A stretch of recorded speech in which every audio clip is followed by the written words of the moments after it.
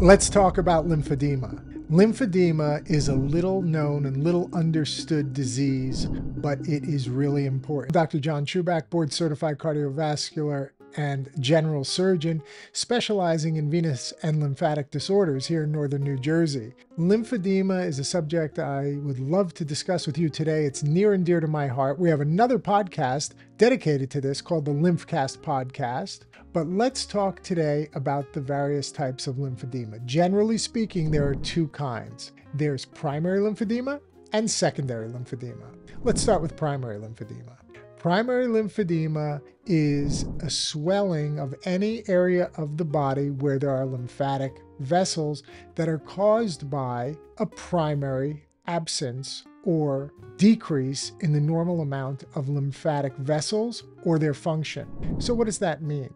Primary lymphedema typically is something that happens at birth or has happened in the embryological process of development of the fetus while in the uterus, what we call in utero. So you could actually see an infant born with a swollen limb. Could be an upper limb, lower limb, more than one limb, and this would be as a result of what we call agenesis or hypoplasia of the lymphatic vessels. The other thing that's really interesting about the lymphatic system is that the lymphatic system is part of two other systems. It's part of both the circulatory system, and it's in circulation, and we'll talk a bit about that.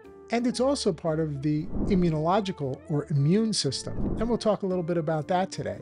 In future videos, we'll talk a lot more about all of these things. Primary lymphedema is again either an absence of lymphatic vessels or a hypoplasia, meaning an underdevelopment of lymphatic vessels, or a poor function of the lymphatic system and lymphatic vessels. So, in some individuals, they may not see this early in life. It may it may take time to see that they have a primary lymphedema.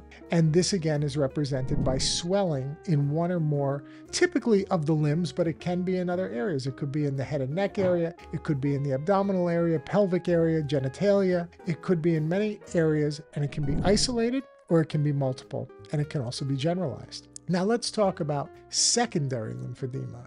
What is secondary lymphedema? Secondary lymphedema generally means that the lymphatic system was normal to begin with, and something happened to injure the lymphatic system or to decrease its function. A very common scenario would be surgical trauma to the lymphatic system. So, for example, a classic situation, especially in days past, but we're still seeing it today, make no mistake about it, would be lymphedema of the upper extremity, typically in a woman who's had breast surgery for cancer and sampling of the lymph nodes. Remember, that could happen in a man too, and that's another subject for another day. Male breast cancer, very important and very interesting subject. But lymphedema of the upper extremity can occur after a breast cancer after sampling lymph nodes in the axillary region, the underarm area. Why? When a breast cancer grows in the breast, one of the first places it can spread is through the lymphatic vessels to the lymph nodes under the arm.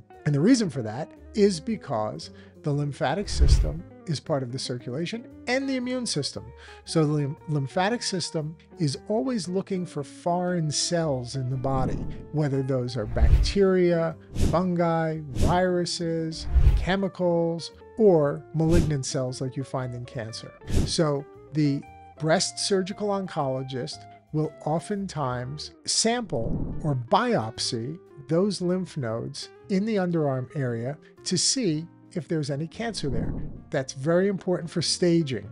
And staging, meaning what stage of cancer is this? Is it stage one, two, three, four, etc. Staging is very important for making a proper diagnosis and treatment plan because as cancers progress to higher stages, typically the treatment becomes more involved and might include things like chemotherapy, and radiation therapy in addition to surgery. Let's talk about radiation because radiation is another common cause of lymph node and lymphatic vessel destruction, typically, again, for treatment of a cancer.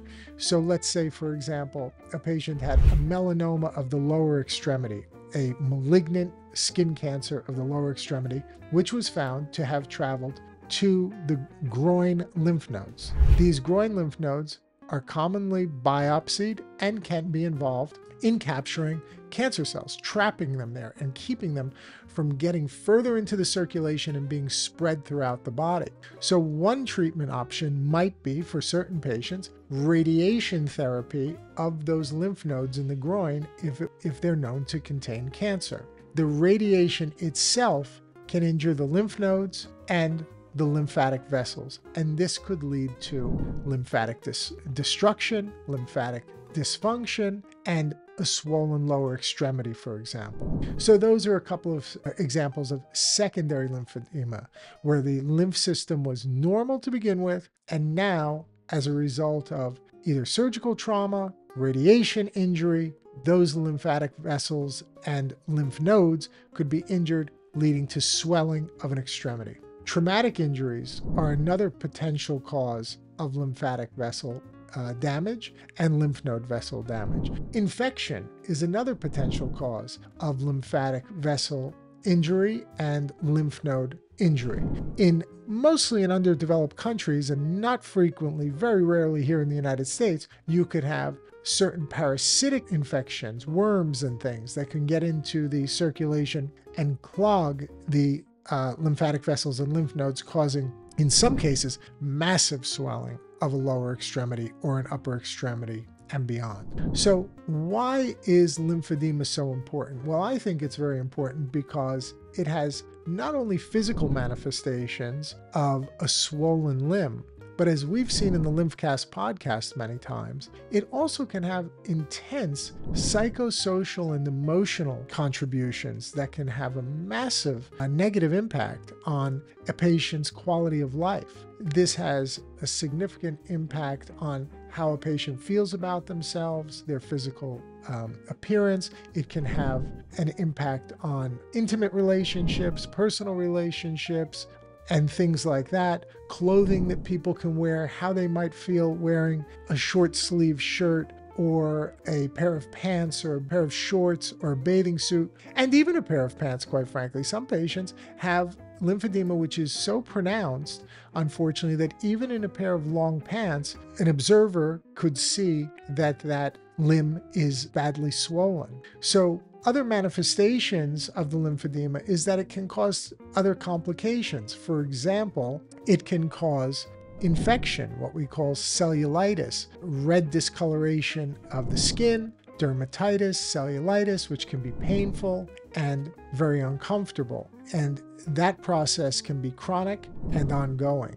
So, lymphedema unfortunately, is still not well understood by many members of the medical community, including doctors, nurses, nurse practitioners, physicians, assistants, and other healthcare providers. So, we are doing our very best to raise awareness about lymphedema so that those patients can be properly diagnosed and then treated and managed. Let's talk a little bit about treatment and management of lymphedema.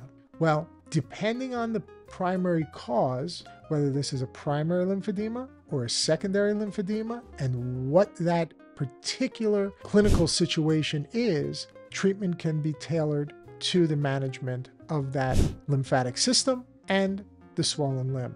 Some of the things that are done are what we call conservative or non interventional, others are more aggressive, more invasive, and interventional.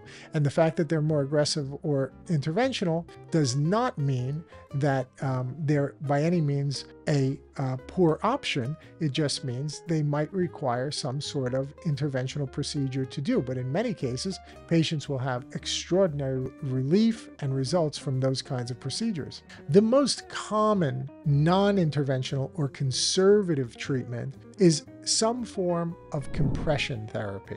Compression therapy can take numerous forms. Sometimes it's with what we call a graduated compression stocking, an elastic stocking of some kind, which has graduated compression. What does graduated compression mean? Graduated compression means that the pressure along the length of the garment changes. So, for example, a common compression garment might be what we call a 20 to 30 millimeter mercury compression garment, meaning that at the, let's say it were a, a, stocking for the lower leg, going all the way from the foot to the high thigh, which is a common garment. Another common garment would be a knee-high stocking from the foot to the uh, to the knee, just below the knee. In either case, you would have 30 millimeters of mercury pressure at the foot and ankle area, and then higher up along the uh, calf and the mid leg area, it might be 25. And then at the knee area for a knee length stocking, it would be 20.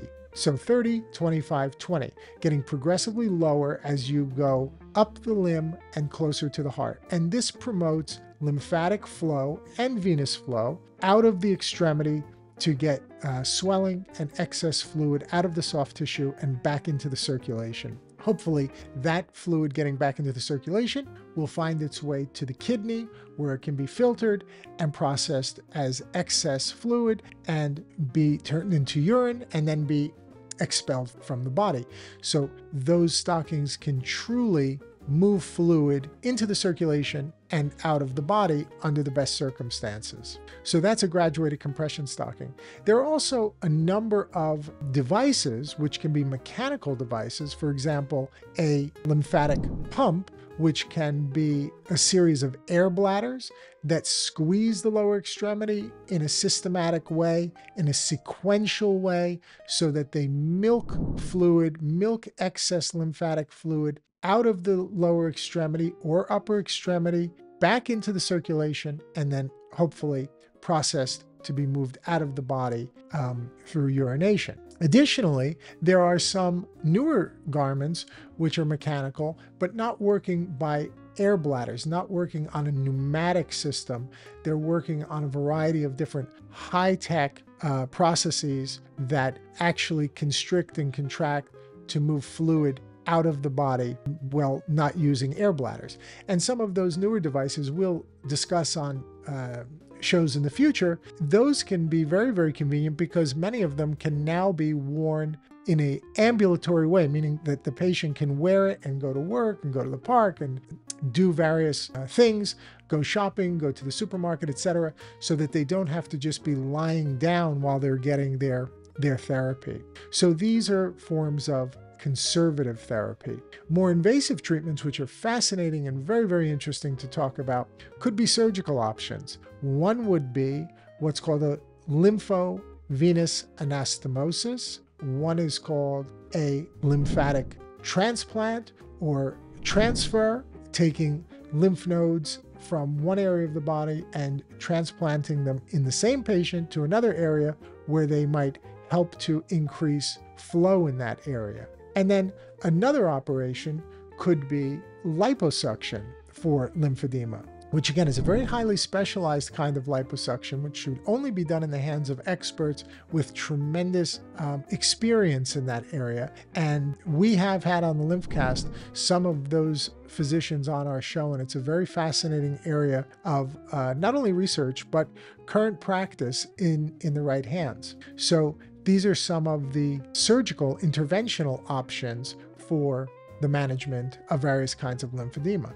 And then, of course, there are other conservative treatments, like, for example, dietary supplementation, micronized purified flavonoid fraction, which has an antioxidant effect and has been shown to support both the venous and lymphatic system, as well as other dietary supplements, which we can talk about more in the future. Ruscus, which is butcher's broom, and rutin, and many other natural products that are considered dietary supplements here in the United States, like grapeseed extract, horse chestnut, etc.